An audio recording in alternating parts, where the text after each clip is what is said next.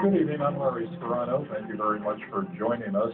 They are gone, but tonight during a remembrance on Airport Road, it was obvious that they will not be forgotten. Gray Sky reports on how two young boys and their grandfather are being remembered.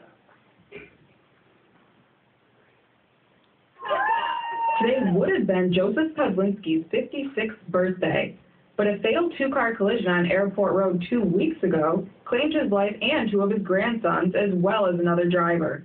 The mother of the two boys, Melanie Houghton, says the support of friends and family is what keeps her going. It's what makes me get up in the morning out of bed. I can't say it's what makes me wake up because I don't sleep anymore. People gathered outside the sports complex on Airport Road for a candlelight vigil tonight where they released hundreds of balloons.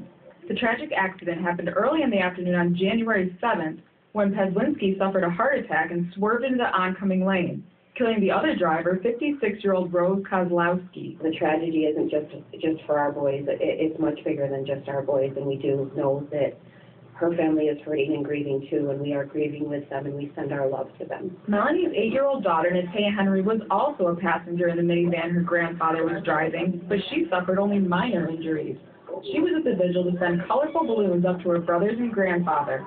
But it wasn't only in Binghamton that balloons dotted the sky. As far as Florida, uh, Hawaii, uh, some people in other countries. Davidson says the internet helps spread the word and connect family and friends who have been sending in pictures of balloons they're sending off. I'm sure people saw balloons no matter where you were today. Melanie says it's this support that keeps her strong for her four other children.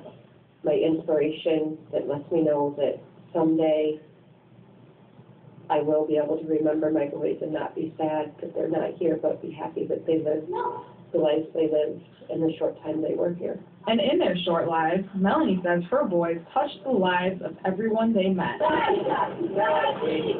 Tyler um, got suspended from kindergarten about a month before.